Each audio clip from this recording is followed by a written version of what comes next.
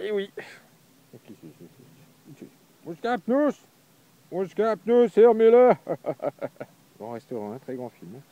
Euh, bref, oui, donc nous sommes euh, aujourd'hui à Préchac-les-Bains, petite euh, commune située dans les Landes et plus précisément dans la Chalosse, et plus précisément non loin de ce lieu incroyable qu'est le trou de Madame. Alors le trou de Madame, qu'est-ce que c'est? Tu as bien suivi le début de ce que j'ai dit, que nous étions pas loin de Préchac-les-Bains.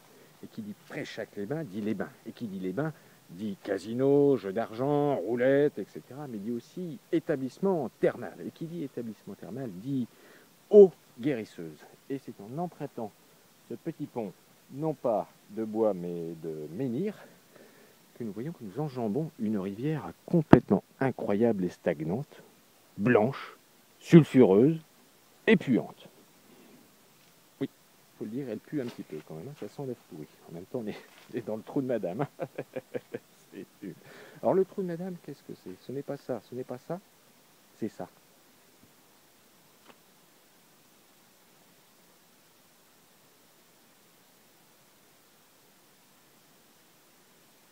Non, c'est pas un lavoir. C'est un ancien endroit de cure qui, euh, depuis 1950, est en fait euh, complètement en ruine. Mais c'est là où les femmes venaient euh, prendre les eaux pour soigner leurs douleurs et leurs rhumatismes. Parce que cette eau, regarde bien, est très très très très très très très très très claire. Sent très très très mauvais, mais elle est très très claire. Et chaude. C'est grâce à cette eau que les femmes soignaient leurs douleurs et leur rhumatisme, ici, en plein milieu de la forêt landaise, au trou de Madame. Pourquoi ça s'appelle trou de Madame? Eh Tout simplement parce que la légende dit qu'au XVIe siècle, une religieuse se serait noyée à l'intérieur de cette fontaine. Pourquoi pas?